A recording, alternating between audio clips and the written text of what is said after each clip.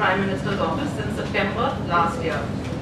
He is a recognized expert in this field and the country's foreign policy on security, non-proliferation and disarmament issues. He served in New Delhi for nine years as Joint Secretary, DISA, that is Disarmament and International Security Affairs, a division that he set up and headed from 1992 to 2000. In that, uh, in that post, he oversaw, oversaw the negotiations concerning the Comprehensive Test Ban Treaty, and the Chemical Weapons Convention, and the deliberations on the Fissile Materials Cut-off Treaty, FMCT. He also participated in bilateral dialogues on nuclear and other non-proliferation questions with the world's major powers. He has served as India's ambassador to Afghanistan and Nepal ambassador and permanent representative to the Conference on Disarmament in Geneva. He has also served as Deputy Chief of Mission in the Embassy of India in Washington. Among his other assignments abroad, Ambassador Sood has been First Secretary and counselor at India's High Commission in Islamabad and First Secretary in the Permanent Mission of India to the United Nations Office in Geneva, apart from serving in India's diplomatic missions in Brussels and Dakar.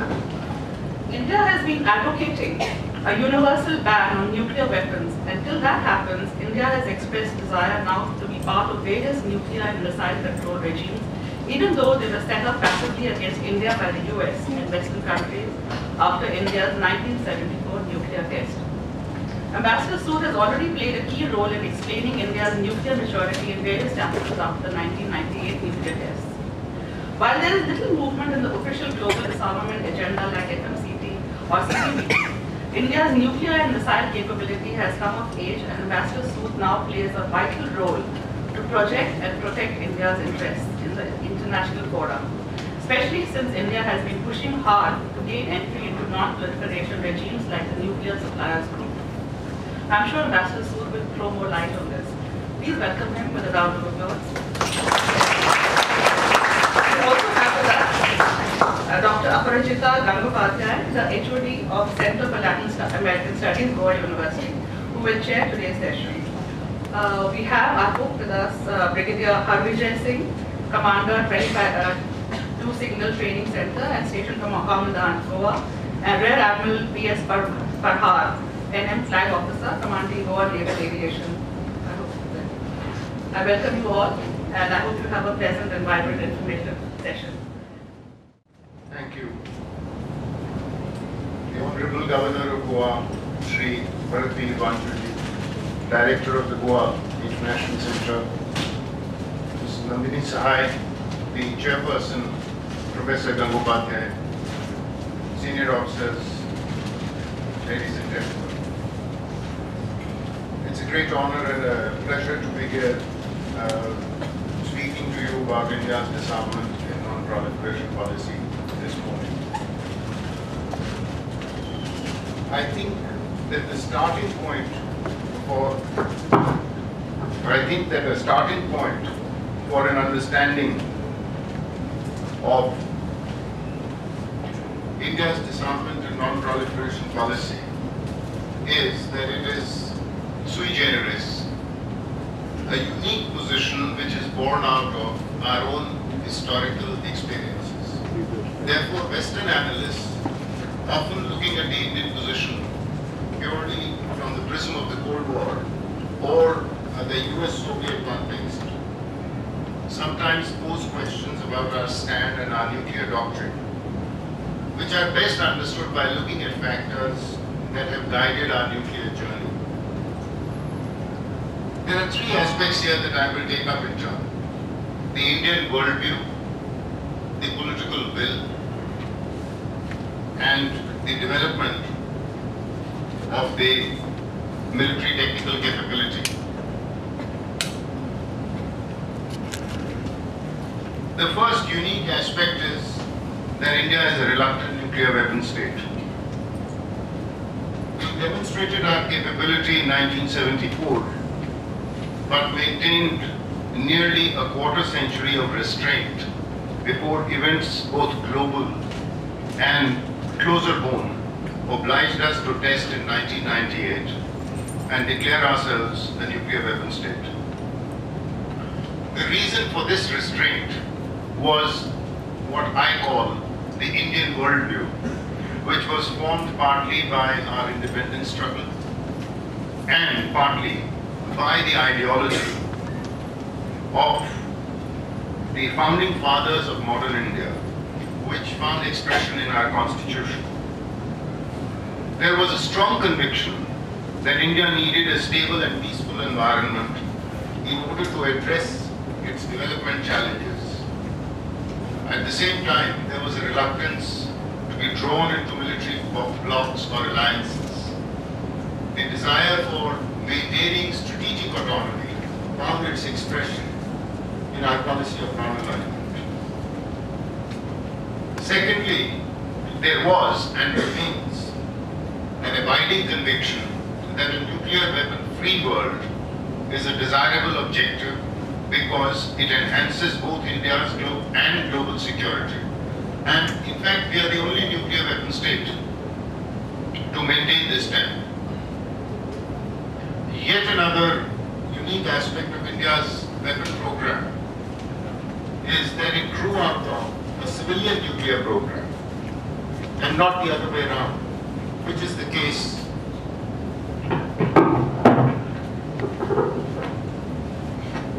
which is the case for all the other nuclear weapon states. In fact, the Atomic Energy Act, which set up the Atomic Energy Commission, was passed as far back as 1948. The first research reactor in Asia, which is Apsara, went critical in 1956. And the first nuclear power plant in India, which is also the first in Asia, went on stream in 1969, that's Tarapur. The reason was that our leaders were convinced that this was a technology that needed to be harnessed for the benefit of mankind. And as a result, India continued to take initiatives in the field of disarmament, beginning with calls for cessation of nuclear weapon testing in 1950s and following up with more comprehensive approaches in the 1960s. Let me just give you an idea as to how active we were in the field of disarmament during this period. India's first Prime Minister, Pandit Nehru, was a leading voice calling for an end to nuclear testing in the 50s and drawing attention to the effects of atomic radiation on people and the environment. In fact, he wrote letters to world leaders on this issue. Eventually, in 1963, the partial test ban treaty was concluded what did it do? It banned testing in the atmosphere. But by this time, the technology for underground testing had already been perfected. The India-China War of 1962 and the subsequent nuclear test by China in 1964 introduced the nuclear issue into our security calculus for the first time. However, we continued to push for nuclear disarmament and in 1964 took the lead in calling for negotiations combining non-proliferation and elimination of nuclear weapons. This was the initiative that eventually took the shape of the NPT, the Nuclear Non-Proliferation Treaty, which created its own nuclear apartheid and fell far short of what we had visualized even as we saw the direction that the negotiations were taking, we tried to obtain security assurances from the nuclear weapon states, the US and USSR, and also UK at that time. But our efforts were unsuccessful. Eventually, therefore, we decided to stay out of the NPT, and thus was born the nuclear option, which was demonstrated as a capability in 1974. And after 1971, when we had already been subjected to nuclear coercion. Notwithstanding this, India continued to take additional initiatives. In 78,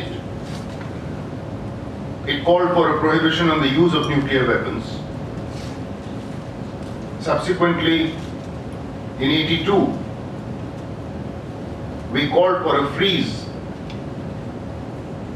on the production of nuclear weapons and related fissile materials. And in 1988, then Prime Minister Rajiv Gandhi presented a phased approach for bringing about a nuclear weapon-free world over the next 25 years.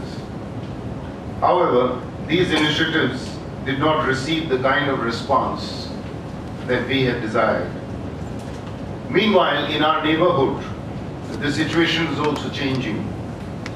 Pakistan had developed its nuclear capability during the 1980s and having experimented with sub-conventional warfare against the Soviet Union in Afghanistan, sought to combine the two with regard to India. Pakistan's strategy now was to use extremist elements to foment insurgency, which could be passed off as a self-determination movement, with the assumption that a strong Indian military reaction could be deterred through nuclear blackmail, together with India's apprehension that the Jammu and Kashmir issue should not be internationalized.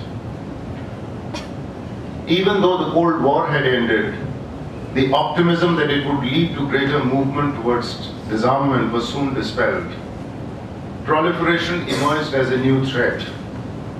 In 1995, the NPT, which had originally been negotiated for a 25-year period, was extended indefinitely and unconditionally, and any prospects of delegitimization of nuclear weapons receded.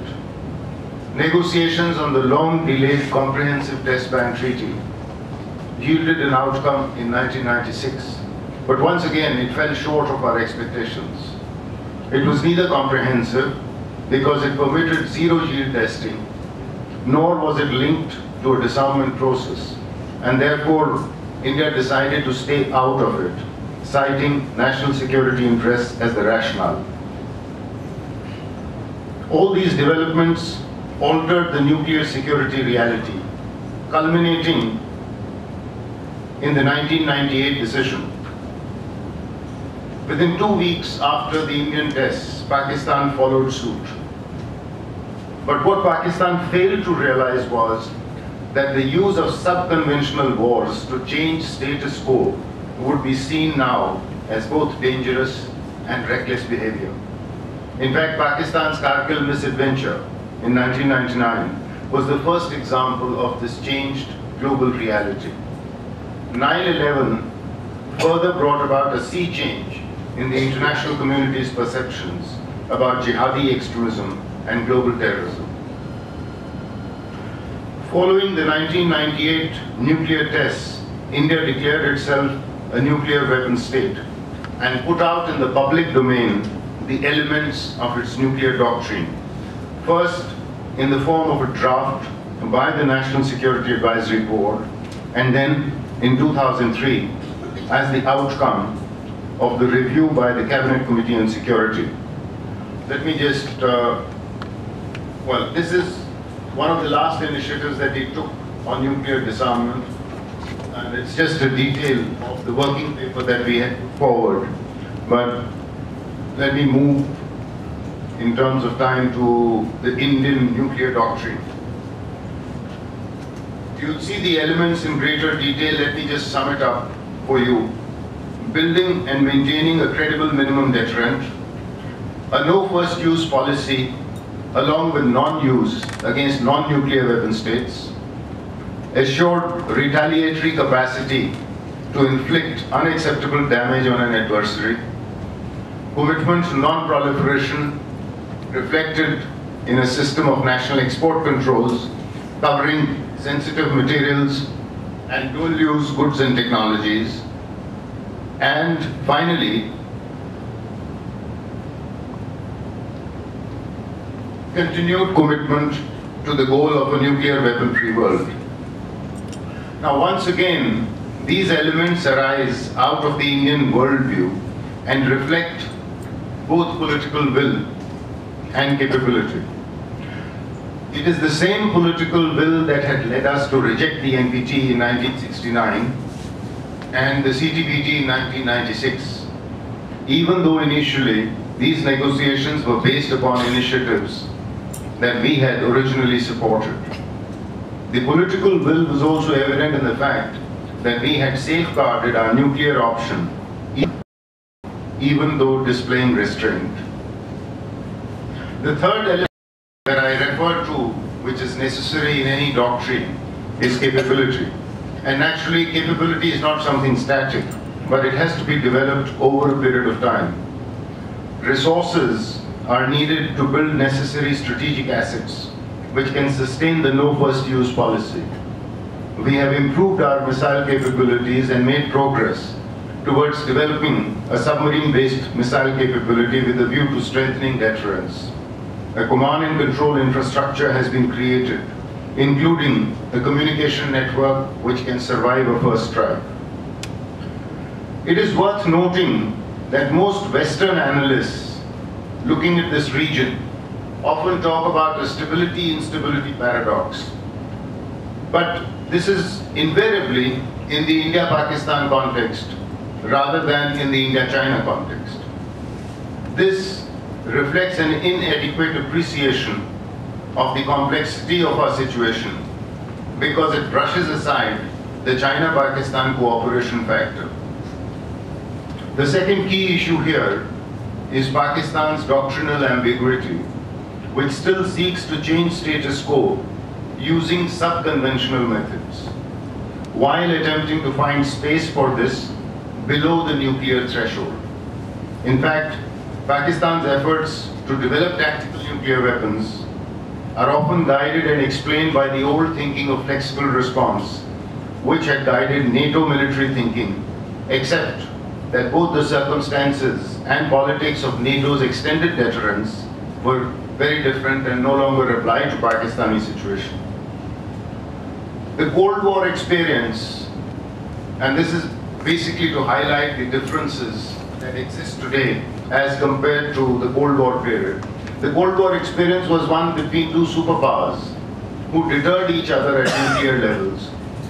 And conventional conflicts often took place between their proxies without direct participation of US and Soviet soldiers.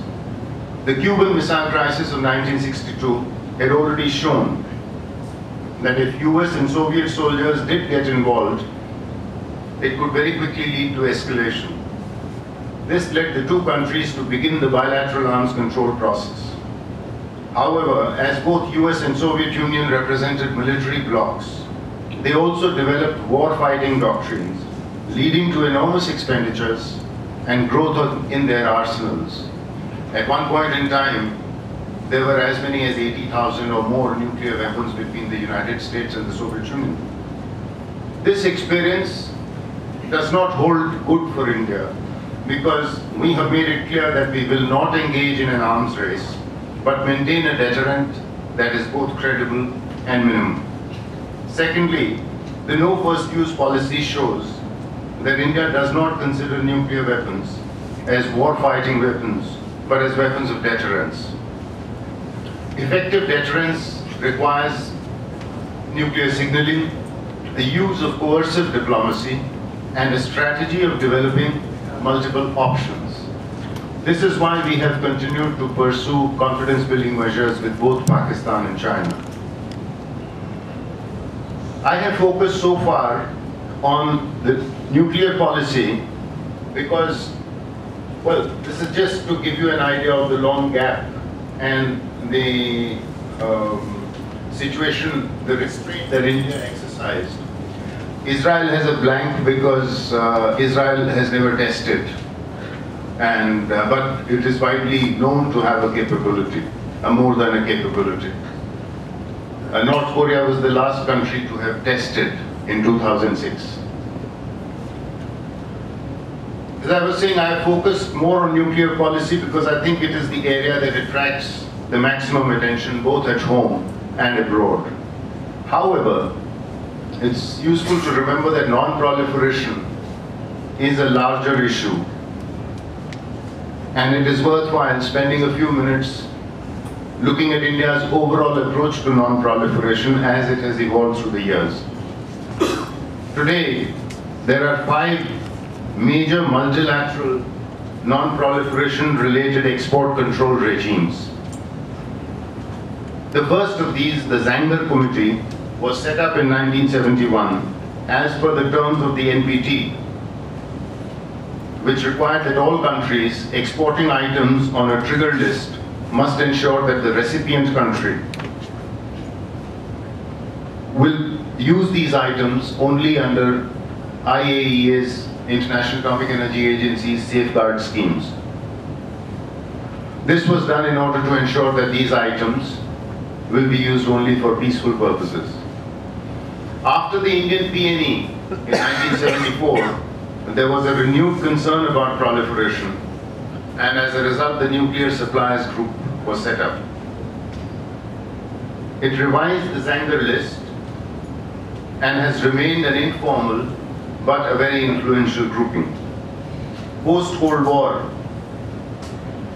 proliferation threats were increasingly a source of growing concern and in 1992 the Nuclear Suppliers Group added a second list consisting of dual-use items and technologies which would have application in the nuclear field. In the field of chemical and biological weapons, the Australia Group was established in 1985 in order to prevent supply of materials or equipments which could be used for chemical or biological weapons programs. The methodology was to harmonize export controls among member states and also have a certain amount of information sharing regarding proliferation risks. A third grouping, the Missile Technology Control Regime, was created in 1987 to prevent the proliferation of rocket and missile systems, particularly those capable of delivering weapons of mass destruction. These are defined as missiles with a minimum range of 300 kilometers and capable of delivering a payload of 500 kilograms or more. Since then, these definitions have been expanded and unmanned aerial vehicles, UAVs, are also included in the list of sensitive items. While the above four regimes focused on weapons of mass destruction and their delivery systems, the Wassenaar Arrangement, formally established in 1996, harmonized export controls among member states covering conventional arms and dual-use goods and technologies. Incidentally, the Wassenaar arrangement is a successor to the Cold War era COCOM, which had been established to prevent export of weapons and technologies to then USSR and the Eastern Bloc. It is important to note here that all the regimes other than the Zangger Committee, which is linked to the NPT, are actually informal ad hoc regimes originating with a group of like-minded countries, primarily Western, Western countries, that have gradually expanded their membership in a organized manner.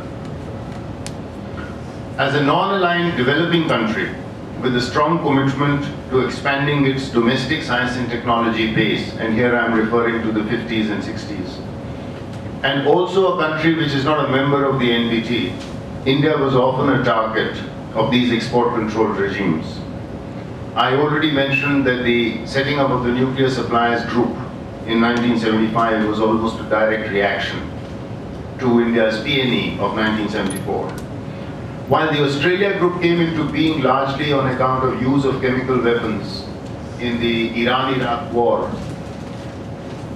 the creation of the MTCR in 1987 happened just after, two years after India had announced its Integrated Guided Missile Development Program, the IGMDP, in 1985. There were also concerns about the China-Pakistan cooperation, which had started surfacing. Nevertheless, India's domestic policies were supportive of the concept of non-proliferation, even as we objected to the discriminatory character of these ad hoc export control regimes. Secondly, most of our technologies in the nuclear and defense related areas were developed indigenously, unlike many other countries like Pakistan China, North Korea, etc. Conscious of its responsibility, India was therefore able to use its existing legislation like the Explosive Substances Act of 1908, the Arms Act of 1959, the Atomic Energy Act of 1962, etc., to prevent exports of any sensitive materials or technologies. With the end of the Cold War and the beginning of the economic liberalization, the Indian private sector began to move into sensitive technology areas, just as now it also required access to technologies from abroad, which were often controlled through these regimes. Consequently, we began modifying our laws. We started with some dual-use chemicals, which were already being listed in the Chemical Weapons Convention. The Foreign Trade Development and Regulation Act was used to introduce a licensing system for special materials, equipments and technologies, which was called the SMET list in 1995 and subsequently developed after the Indian Parliament passed the Chemical Weapons Convention Act in 2000. The SMET list now included chemicals and biological organisms and is now known as the SCOMET, SCOMET list, which keeps going periodic reviews and additions. In 2005, India adopted a Weapons of Mass Destruction Act reflecting growing concern about linkages between terrorism and weapons of mass destruction. And with this, what we did was we also introduced controls on transshipment, brokering, intangible controls over deemed exports, and so on. I've explained this at some length because it is yet another unique aspect of our policy and also relates closely to establishing India's role as a responsible nuclear weapon state. It has helped in gaining acceptance for India in legitimate international nuclear trade and commerce at a global level. As global proliferation concerns have, gained greater prominence and within India, access to sensitive technologies has become more widespread. We've modified our domestic policy by strengthening our own non-proliferation related export control regimes and externally are seeking membership on an equal terms with the NSG, the MTCR, the Australia Group and the Wassenaar arrangement. Following our outreach activities over the last decade plus, the first breakthrough came when we obtained the NSG waiver in 2008 and the US-India bilateral cooperation agreement which permits civilian nuclear cooperation and brought an end to the nuclear apartheid to which we had been subjected since 1974. We have also been active in addressing new nuclear threats in forums like the Nuclear Security Summits. In some ways, India's non-proliferation record has been better than countries that have been members of these regimes. Every policy seeks to reconcile values with interests, and it also evolves over time based on changing ground reality. Accordingly, our policy articulation has reflected its own pragmatism, its own blend of real and moral politique. If we look back with the historical perspective that I have tried to provide, I think we can find a degree of continuity in our disarmament and non-proliferation policies, India's evolution from a non-nuclear to a nuclear weapon state, and Indian nuclear doctrine. The continuity is ensured by the same three factors with which I began, namely the Indian worldview, capability, and political will. And this is what makes our policy sui generis which has served to safeguard India's national security interests by demonstrating responsible behavior, ensuring greater acceptance of India's position as a nuclear weapon state committed to non-proliferation, conveying an appropriate message to potential adversaries, and finally, a message of reassurance to our own people. Thank you. Thank you, Ambassador Sood, uh, for a very comprehensive talk on disarmament and India's nuclear policy. Uh, before we open the floor for questions, I'd like to make some comments on his presentation. Uh, I was just thinking about the class that we usually teach on uh, India's uh, nuclear policy as part of India's foreign policy. And uh, where it is true that India's nuclear policy, or so-called a plan for a nuclear option, began way back even before India became independent.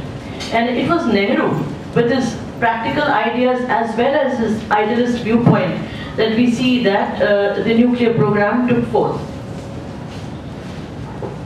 the success of the testing in 74, the 98, the Rajiv Gandhi peace plan, the unacceptable pro propositions of the NPT, the CTBT, all this is very, very true and very, very uh, uh, important for us. But what at times, uh, you know, really sort of tickles our minds as students of international relations and, and uh, those who study uh, foreign policy is the idea of disarmament. You know, when you talk about disarmament in class, it seems so vague and utopian at times. And in today's world, when there are, you know, the, the concept of traditional disarmament of between states, it's no longer viable because states are not really going to wars with each other. Rather, it is the non-state actors. And how do you talk about disarmament to them? It's something a little difficult to reconcile. Secondly, uh, even when we talk about con conventional, uh, you know, uh, nuclear proliferation, traditional nuclear proliferation, we don't talk about, you know, th there's very little in terms of uh, countries don't go to war, uh, and deterrence in a sense has lost its value with the current scenario because the world is no longer about states and states interacting with each other. It, it is the, really the threat that emerges out of the non-state actors that make us relook at, at uh, the use of nuclear deterrence, the concept of deterrence itself. Because today, I mean, uh, there are the non-conventional proliferation issues like fission material, loose, nu uh, loose nukes, which, are, which could be accessed by any kind of uh, terrorist groups anywhere in the world. What do we do then? How do we deal with such situations? Uh, so I think I think I'll, I'll, I'll sort of leave it at that. Maybe I mean you could you could take from that, and as well as I'm sure there are like a million questions from the students who would like to ask something, and others as well. Thank you. Uh, probably we can begin with uh, three questions at a time, and then we'll get Ambassador Sood to answer them, and uh, go on to the next three. Is that okay? Ambassador Sood, uh, good morning. Let me join uh, Professor Gangopadhyay in actually extending that particular discussion. I think she's right when she says that the whole discussion on disarmament and non-proliferation has very subtly but discernibly moved away from conventional disarmament to the more dynamic issues of non-proliferation. And since the Nuclear Security Summit has been in place, which you mentioned, an important concern that has been taken on board is the whole issue of the loose nukes and fissile materials and how they are expanding. Now the Nuclear Threat Initiative has put out its 2014 Security Index. And I was reading the other day and it was really concerning because it places India at, at number 176 among the countries and it makes an observation that the finding is that our ability to safeguard fissile materials is worse in terms of a record than China and Pakistan. Now how true or untrue is this and how would you reflect on this whole kind of assessment? Because this was one of our, one of our strong points where we said that even though there was a nuclear apartheid against us, we ensured that the safeguarding of our materials, our track record was quite good. And that was one of the reasons why, in fact, the world was willing to also give us the waiver. So how do you look at this whole assessment and the whole broader issue of the NTI? Thank you. You may not come back here again, so I'll... Uh, thank you, Ambassador Sood, for a very, very uh, extensive uh, presentation. Uh, listening to you was almost like going back to our student days when uh, uh, our, our fellow students in JNU who were working in the disarmament studies division would, would go to the MEA and then come back with memories of how well they were treated by you and, and, and, and the tons of material that they would get uh, in terms of uh, uh, with the permission of the chair, I would slightly broaden the discussion uh, from a larger foreign policy perspective.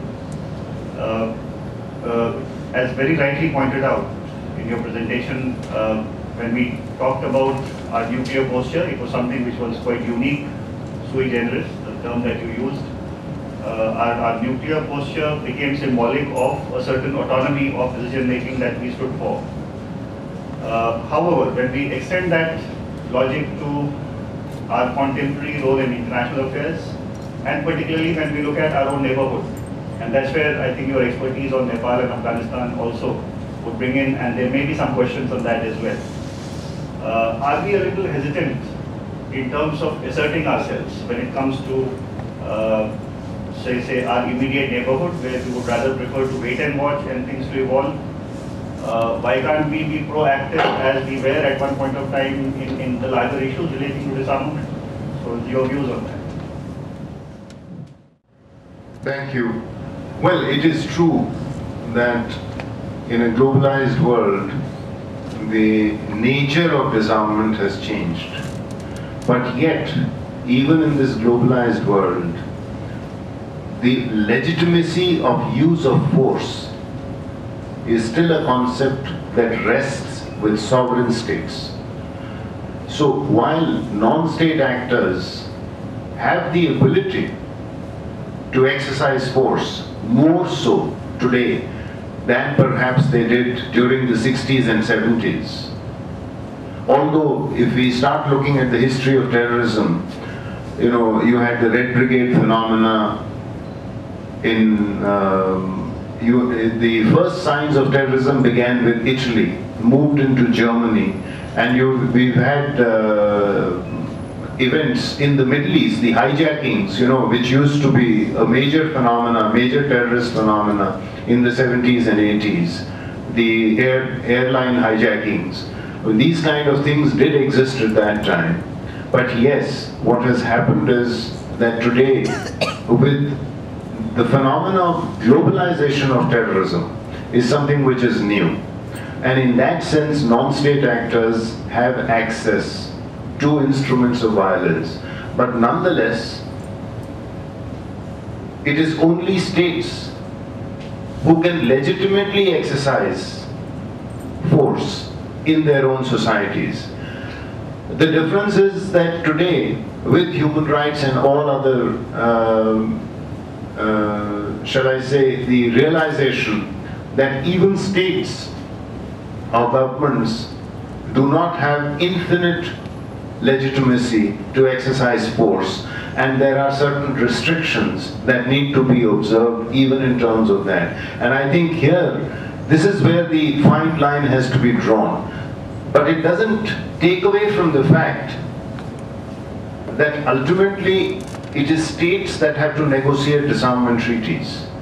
Part of the problem has happened that the world, you know, uh, people might like to sort of be nostalgic about it, that it was a much more orderly world. The Cold War, you had the Western Bloc, you had the Eastern Bloc, and then you had uh, the group of non-aligned countries which used to talk about the virtues of disarmament and so on. But even then, as I tried to point out, we were always in a somewhat unique position. We were not a Brazil or Argentina. We were not a South Africa which accepted the NPT after apartheid was ended. We always had, because of our own worldview, a conviction about disarmament, a conviction about a world free of nuclear weapons, but it was also based on the realization that in a nuclear weapon-free world, we would be better off. That our security would be better off if the entire world was free of nuclear weapons. Because then the size, weight, etc., location and so on of India as a whole would be brought to bear in a global environment. But at the same time, we also knew that this was not something that we were going to give up unilaterally. And which is where the references that I made to political will and development of technical and military capability comes in. So just as the idea of disarmament has changed somewhat, and perhaps in more recent years, we have not seen the traditional fora for disarmament negotiations as particularly active. By the traditional fora, I mean the UN in New York, the Disarmament Commission in New York, the Conference on Disarmament in Geneva. Uh, but disarmament negotiations have still taken place. In the sense, if you look at the uh, treaty on uh, landmines, now it has taken place, but it took place starting with a group of like-minded countries and then ended up being the Ottawa Convention. And the reason was that a large number of countries decided to ban landmines altogether. A small number of countries, and India is part of them, decided that we needed to have landmines and we were willing to go along with a more restricted use of landmines in the sense that we put in minimum metallic content so that landmines could be more, made more detectable so that after a time of hostilities, landmines could be more easily removed and so on. So we were willing to accept these kind of restraints. And this was incidentally done and legally agreed to. But this outcome was seen as insufficient by a number of NGOs, humanitarian groups, etc. And a large number of countries for whom life today moves in a post-conflict society. They don't have unsettled boundaries. And so therefore they wanted to move things forward. And they took a different negotiating track and came up with what is today called the Ottawa Convention. So it is still disarmament, except that with the diffusion of power you have, you see, there is both a horizontal diffusion of power and a vertical diffusion of power today, which used to be centralized in a state authority. So as you see this diffusion of power with multiple stakeholders emerging, and you see this happening not just in the field of disarmament, you see it happening in the field of trade, you see it happening in the field of climate change and environment, so it is natural that new stakeholders come in and you start getting negotiations among multi-stakeholder, what I would call multi-stakeholder negotiations. But the states have to be an integral part of it because ultimately it is the state that joins up with any negotiated treaty, even the Ottawa Convention. It is the states who become parties to it. And therefore it is the states who then change their domestic legislation in order to implement the new obligations that they have undertaken. The NGOs become um, like a monitoring, you know, in, in addition to the international monitoring authorities that you may have, the NGO community could be the equivalent of a domestic monitoring authority to make sure that the state government, by state I mean the national government, uh, the national government actually observes the obligations that it has undertaken.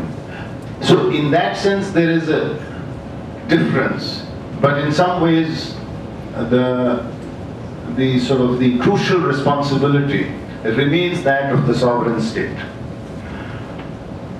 The nuclear threat initiative, yes, I've seen that, but you know, uh, I think that this is uh, this has been a highly biased kind of uh, report that the NTI has come out with, because if you look at uh, if you look at the record, if you look at how uh, which you yourself referred to, the fact that uh, the NSG gave a waiver in 2008, the fact that we have moved forward, you know, we came out with our doctrine back in 1999, the draft doctrine and so on. The kind of transparency that we have uh, shown in, uh, in our nuclear posture post 1998 is a far cry from anything that Pakistan has shown.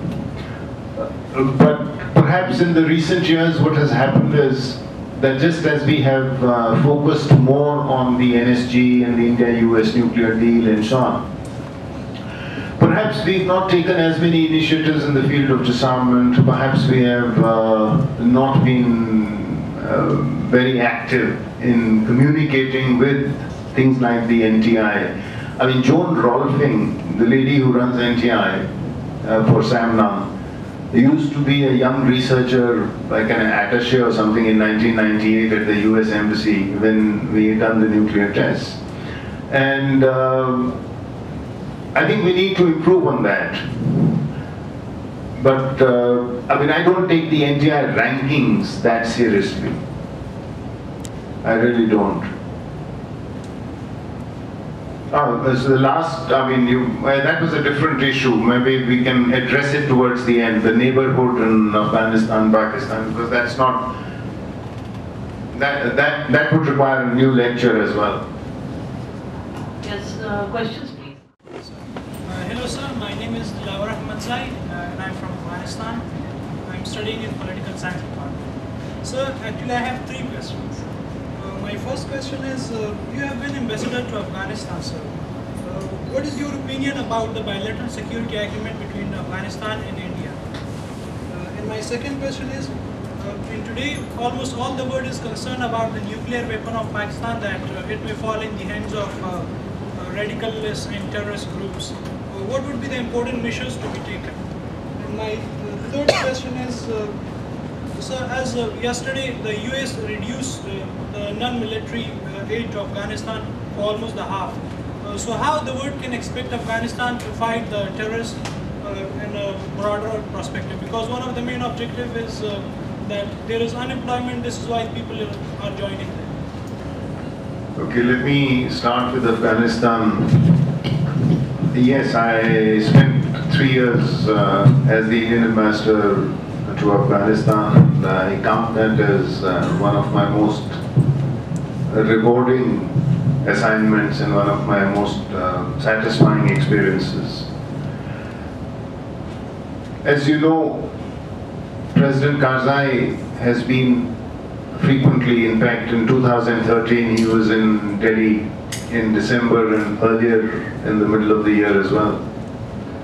The bilateral security agreement that is currently the subject of discussions between the United States and Afghanistan is something which is for the two countries to decide upon. President Karzai has raised certain concerns uh, with regard to some of the conditionalities that he has put. I think he has briefed us when he came to India, he has briefed our leadership about the reasons why he has these concerns.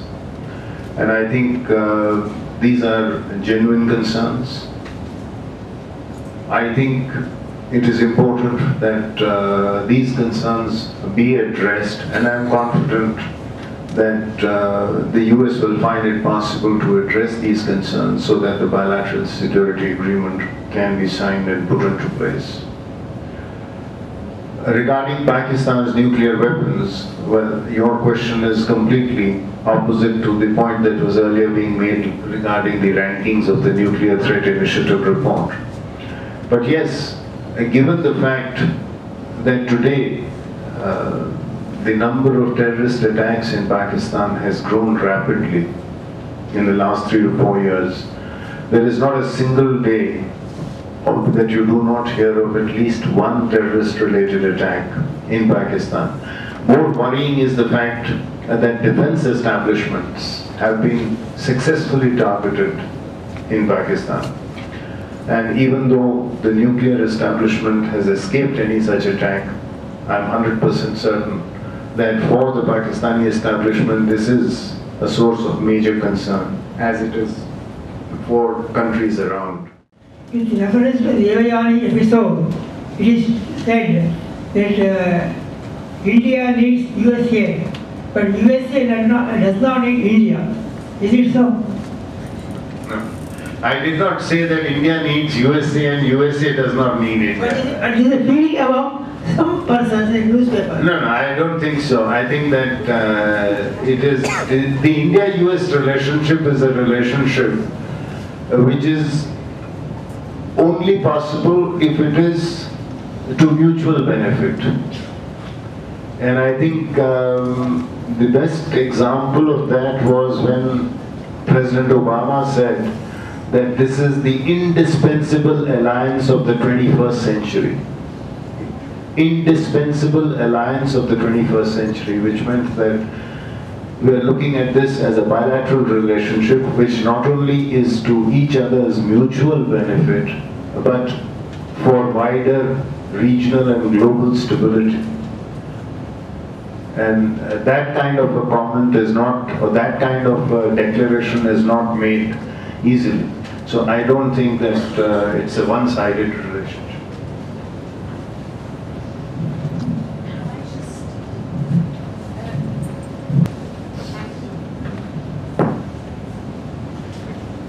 Thank you. Well, um, I think uh, we know that the whole episode with atmospheric testing, I referred to that, and that's why I mentioned that Pandit Nehru was among the Indian, first Indian Prime Minister.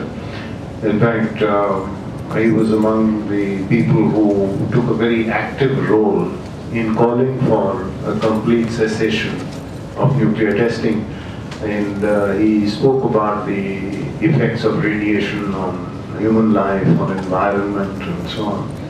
And uh, that's how, that is one of the initiatives. But then at that time, it did not lead to a full, full-scale ban on testing. But what it did was it just stopped testing in the atmosphere. But as I also mentioned by that time, the technology for underground testing had been perfected. So what it did was it drove testing underground. And then it is much later that we come to a situation where all testing comes to an end.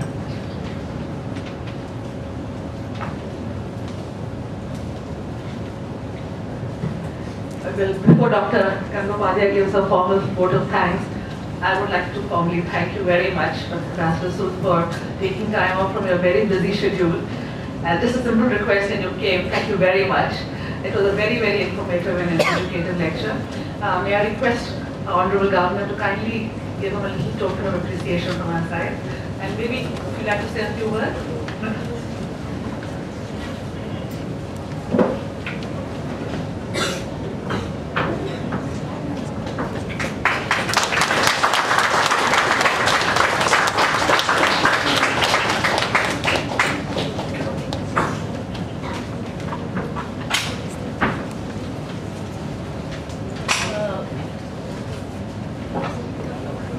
Thank you everybody for having uh, come here and heard Ambassador Sood. I'm sure that you were thrilled as I was listening to him.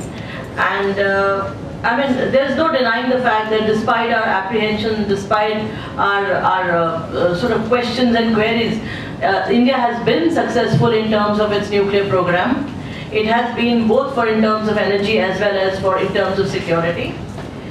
And I'm sure that like me, all of us uh, here will go back, you know, uh, thought provoked and we'll be, we'll, we will in, uh, retrospect about what we heard today here. Thank you, Madam from France, but I'm you putting too much pressure on all of us to think when we, the future lies on our shoulders. Uh, but nevertheless, thank you, Ambassador Sood from, uh, from the International Center, as uh, Mrs. Sahaya said, and also from the university, from Center for Latin American Studies, and from political science students, all of us who are here, and uh, it, it was a pleasure to have heard you. Thank you so much.